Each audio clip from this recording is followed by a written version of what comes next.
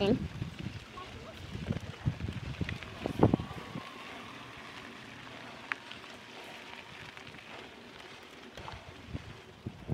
We're out here checking out the Levo.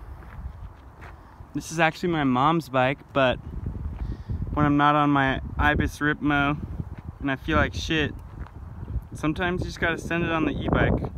We're here in the Santa Monica Mountains. You know this place, let me know. But the Levo is absolutely a blast. I did a four mile run on the beach yesterday and it was pretty hard barefoot and uh, my calves are pretty fucking shot today so just a recovery ride and I can ride probably 2,500 feet of climbing with all my favorite descents. I was in turbo mode the entire time because why not? Turn it all the way up to the top. That's the most fun. And just had the shocks open and stuff and hit all my favorite descents that's what's best about the Levo is that you can literally just go anywhere you want to, just spinning the whole time. And you have to put in almost no effort. I mean, you have a little cardio work, but if you're a good rider, you can handle it pretty well. So I think that the Levo is a great recovery tool. You can have fun rides. You can go to all your favorite downhills, but you can still recover and spin your legs out. You really don't have to exert much at all. So that's uh, one of the main reasons I like riding these things.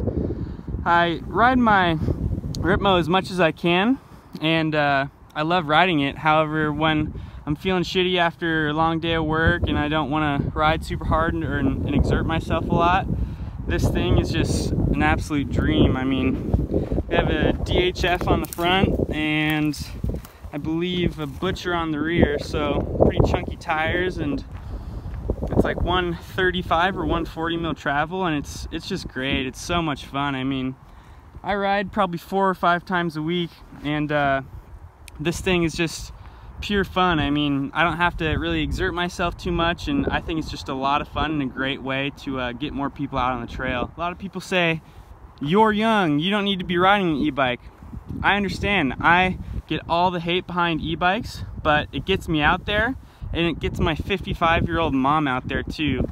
She doesn't ride at all and she would hardly be able to keep up with my dad and I. However, with this e-bike, it allows my mom to get out there and ride with us. It allows 60 year olds to get out there and ride with the young 20 year olds and keep up and whip their ass. So I think it's a great tool to get more people out on the trails and get more people having fun and creating more community. So to those people who are hating on e-bikes, they probably haven't ridden one and they are probably either stuck in the past or just a little salty that they're not having as much fun as people on e-bikes. So at the end of the day, it all comes down to having fun. I'm just out here trying to have fun on the trails. It's a Saturday night. I have nothing better to do and my legs are pretty shot. So I figured I'd just come out here and spin on the e-bike and hit all my favorite descents. I'd go on the most fun downhills and just turbo up the uphills and it's super easy. I mean, it's really almost a, a joke, honestly.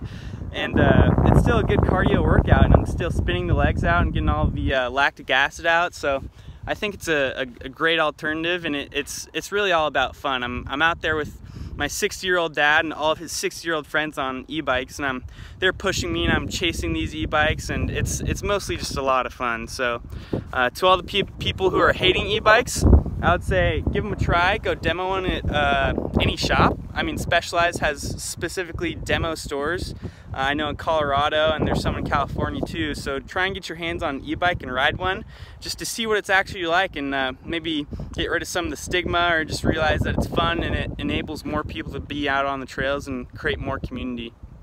So thanks for watching and uh, stay shredding. Here, check out the scenery a little bit. It's pretty dope. About to drop into my favorite trail. If you know this trail, it's called Happy Ending, if you know what I'm saying. But we're about to shred.